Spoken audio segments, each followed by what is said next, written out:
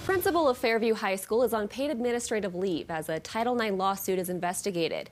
Don Stensrud has been with the Boulder Valley School District for 22 years.